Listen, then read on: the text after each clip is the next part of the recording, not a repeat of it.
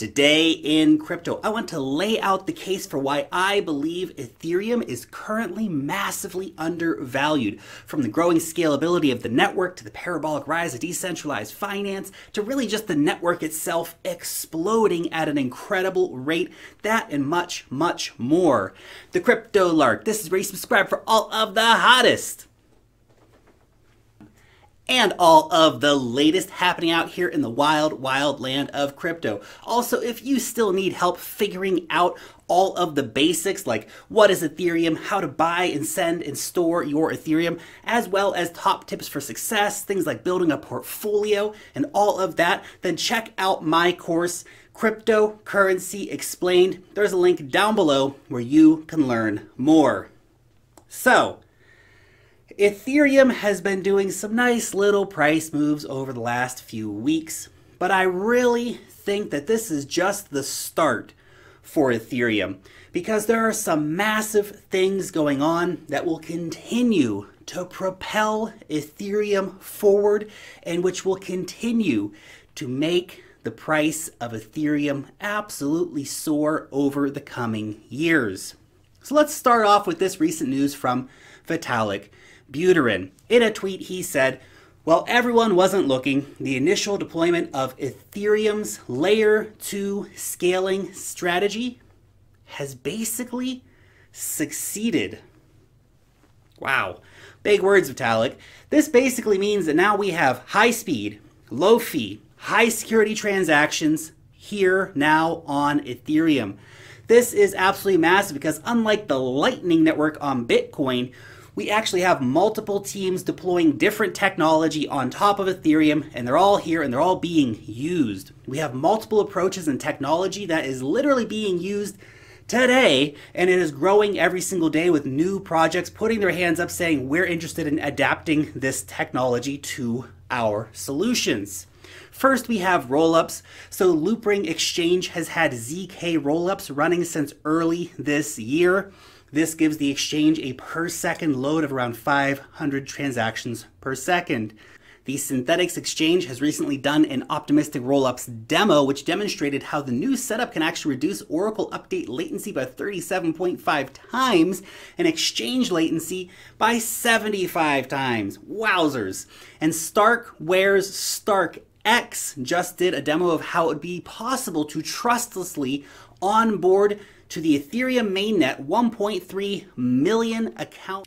Essentially, this was demonstrating how an entire subreddit the size of Fortnite BR can actually be brought into the Ethereum ecosystem. By the way, this demo that they did, it created no network congestion in the process. It was done in a 12 hour period while only using 2.5% of the network. Gas prices used were on average 30% below the average gas price during that time. Now, for a comparison, doing the same thing directly on Ethereum without using StarkEx would have consumed the entire network for four and a half days. Rollups work, they're here, and they're being used right now. In addition to rollups, we now have two implementations of Plasma. We have OMG and we have Matic. So Omise Go, now rebranded as simply OMG, has finally launched Plasma. It took them long enough, but it is finally here, allowing for thousands of cheap transactions per second on layer 2, of course. After a very, very long wait, the mainnet is finally out.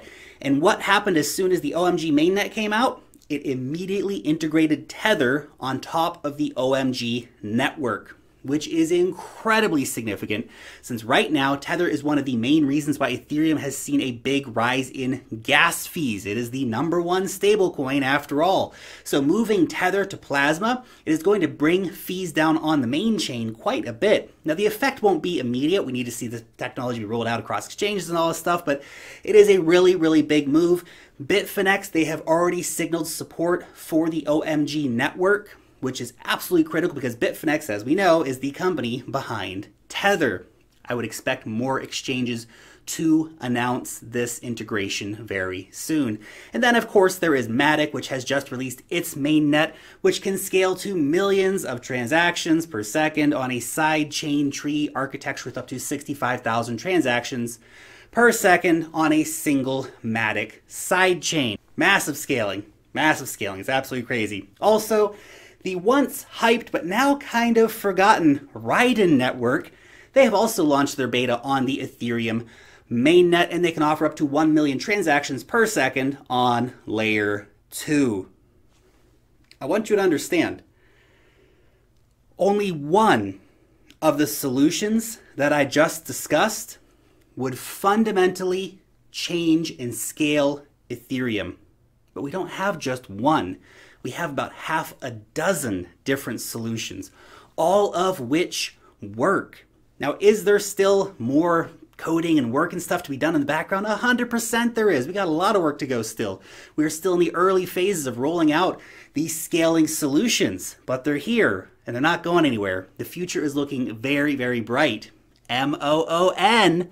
That spells moon, and that is exactly where Ethereum is heading. By the way, if you're looking for a place to buy top cryptocurrencies like Omise Go and Ethereum, then check out Kraken. It has got low fees, high security, and an excellent uptime. Unlike some other popular exchanges, it stays up when the price of Bitcoin makes a big move. There is a link down below where you can learn more. Now, the next factor that I want to discuss with you is the value that Ethereum is quickly consuming you see, right now, ERC20 tokens, they're approaching around 50% of the total value stored on the Ethereum network.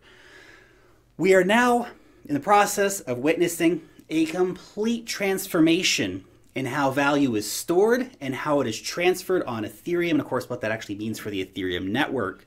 We are seeing the value of Ethereum really expand beyond the Ether asset itself, and this is happening at a very, very rapid rate. 2020 has been fundamentally game changing for this. Almost all major innovation happening in crypto right now, it is happening on Ethereum. We will be able to trustlessly and digitally represent fiat and gold and software licenses and equity and debt and derivatives and loyalty points and reputations ratings and so much more things people haven't even started to conceive of yet. All of that can be built on Ethereum. A lot of it already is being built on Ethereum. We're starting to see some of the first examples of these things coming out. We have gold tokens, which are becoming increasingly popular. We've had probably about two dozen or so gold tokens now. We have real estate, which is being tokenized and issued out on Ethereum. We have bonds being issued on Ethereum. And of course, the stablecoin market has absolutely exploded.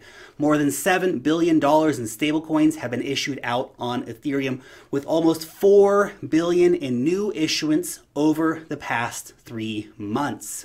Digital dollars they are hot, hot, hot right now, and there is a lot of them as well. Obviously, the biggest ones are Tether. We see a lot of others like USDC and Paxos and DAI all coming into play. And now Ethereum is even sucking Bitcoin into its orbit. There are around half a dozen forms of wrapped Bitcoin now issued on top of Ethereum. Together, they account for around 5,000 Bitcoin which means there is five times as much Bitcoin right now wrapped and running on top of Ethereum than the entire Bitcoin Lightning network. And there is twice as much Bitcoin than is locked in the Blockstream Liquid network. It seems that Ethereum is the one making Bitcoin very, very useful. Bitcoin now has access to a wide range of decentralized finance products and is now actually backing things like the DAI stablecoin, creating what is really a Bitcoin standard of money. Very exciting innovation happening here. Ethereum is just sucking up all the value in the crypto economy right now. It is quite amazing to be witnessing, actually. And this trend, it is growing at an exponential rate. And along with this growing trend is actually the network itself, which is witnessing dramatic growth. 57% of the total Ethereum supply has not been moved on chain for over a year, and 16% has not moved in over three years. Now, that means that there is a lot of Ethereum hodlers out there, and that that rate of Ethereum hodlers, it is picking up pace. The growth in Ethereum's number of daily active addresses is up big time this year, now at around 380,000 addresses per day. Ethereum is doing around 850,000 transactions per day at the moment. Now, for reference, that's around three times more than Bitcoin averages on a daily basis. Ethereum is also the only network besides Bitcoin that actually has a meaningful security market in terms of fees paid to secure the network. No one else is even close in this regard. The total number of addresses, it recently surpassed 40 million addresses with a non zero balance. That number, by the way, is now closing in on 41 million, not that far off at the moment. So that's just the non-zero addresses, but also the big addresses. They've got a lot of Ethereum as well. There are almost 119,000 addresses which have 32 or more Ether. The number required, of course, for staking in ETH 2.0. This particular number has increased by around 14% since last year. The introduction of staking, when it comes online, it is going to dramatically drive demand for people to get ETH in their hands, both by those long term retail investors and also the institutional holders like Grayscale. Grayscale, of course, has bought the equivalent of 50% of all newly mined Ethereum in 2020, so there's a lot of institutional interest coming in for Ethereum as well. Ethereum staking, in my opinion, is likely to be an economic event as big as or bigger than the Bitcoin halving in 2020. And then, of course, we might actually see the implementation of EIP 1559, which will slowly but surely bring fee burning for some transactions into Ethereum. Decentralized finance, obviously, has been a massive story over the last year, and it has been crazily exploding on us. There are now 178,000 DeFi users, up from around 90,000 only five months ago, nearly doubling in five months. This chart from Dune Analytics shows the explosive growth of the DeFi sector and the users that are actually coming into take part in these products. And the products on offer, they just keep getting better all of the time. DYDX and Synthetix, they're offering margin trading in a totally decentralized fashion. Hot wallets like Argent are making accessing DeFi services super, super easy. And decentralized exchange protocols like Kyber or Aave, they're so damn easy to use. It's at this point, it's not even fair for legacy finance. It's just going to get bulldozed over, and everyone's going to kind of forget, like, you guys used to do banking that way? That's ridiculous. And I haven't even mentioned, of course, enterprise adoption, which is really just a whole separate video in of itself, but players like Chainlink and Unibright, they are at the center of the Eminent Task Force and the Baseline Protocol, two major initiatives supported by some of the world's biggest companies with the intention of onboarding enterprises to the public Ethereum mainnet I'm not going to spend time on those particular topics here at the moment. I just did a video on the baseline protocol a few days ago, so go and check it out if you need to learn some more about it. But anyway, for all of these reasons and many, many more, actually, this is just, you know, we'd be here for an hour if I got went through everything. But for all these reasons and more, I believe that Ether criminally undervalued at the moment. In fact, when staking comes online, I expect that we're going to see some very large price moves for Ether. Now, in terms of investing, obviously you can just buy Ethereum directly. It's my second biggest crypto holding. It makes up a pretty significant port, around 20% of my cryptocurrency portfolio. Or, of course, you can go and sniff out some of the cryptos which will be fundamental to the success of the ecosystem, like Chainlink, OMG, Kyber, Synthetix, Aave, Unibright, Matic, and a good handful of other projects. And yes, I know, I know, ETH 2.0, it still needs to happen. And while all this layer 2 stuff is really, really nice, come on, Vitalik, man, what's up? Let's actually see this upgrade get rolled out. Because this upgrade, it's not just about scaling. Scalability, that's a hot topic. We can really understand, okay, big numbers, better scaling, all that stuff. But we're bringing in things like WebAssembly, new coding languages, staking, which is going to be massive for economics, and a whole bunch of other features, which are all needed really to be um, seeing Ethereum go to the next level. And look, it has to happen sooner or later because, yes, the competition is hungry. There are so many blockchains out there, all with an eye on Ethereum's number two spot right now. Some of those competitors are faster, some of them have better tech, and they'll even do your laundry for you. That's a good blockchain right there. But none of them None of them are even close to Ethereum in terms of its network effect and everything it has going for it. I'm confident that ETH 2.0 will be successfully rolled out in the coming years. But every day that ETH 2.0 doesn't happen is a day that those competitors close the gap. But when ETH 2.0 is fully activated, it will make most of the competitors kind of irrelevant. Um, look, there's going to be some smart contract platforms that are going to find their niches, players like Cardano or Tezos, right? But the majority of these smaller cap smart contract platforms, they're going to be crushed. I mean, look, maybe it's an unpopular opinion, but you have to think about it. Some of these guys, they have had operational mainnets for a couple of years now, and almost nothing has happened. There's a totally irrelevant amount of users, almost no dApps built on it. There's almost, you know, no exchange support for the dApps, which are built on it. No one really cares about a lot of these things. Maybe the number go up, but that's about it personally looking at the Ethereum ecosystem and understanding where it is going to be in, you know, five or even 10 years, it's incredibly exciting. It's one of the reasons why I talk about Ethereum so much, because I look at it and go, ah, this, this, this is why I got into crypto. Everything is primed for explosive price appreciation for Ethereum as well, aside from just all the general awesomeness that is kind of building up here. Look, if Bitcoin's going to $100,000, then Ethereum's probably going to go $5,000 in the next bull. It might sound like a crazy number, but I certainly see Ethereum going back over $1,000. That, that's a near certainty in my mind. Probably one of the easiest plays in crypto right now, along with Bitcoin, which is why Bitcoin is number one and Ethereum is number two in my portfolio. Oh, yeah, sure, it's not 100x gain, but it's still pretty gosh darn nice, isn't it?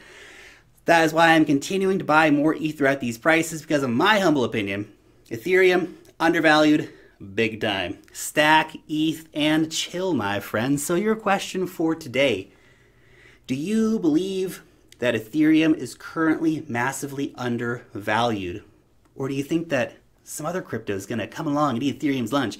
Maybe I've just been hitting that hopium bong a bit too hard. Let me know down below in the comment section. As always, I massively appreciate your time. So thank you so much for coming and listening to this dude talk about cryptocurrencies on the internet. Hope you're having a freaking awesome day out there, wherever you are, whatever you're doing. Keep it classy, everyone. Long live the blockchain.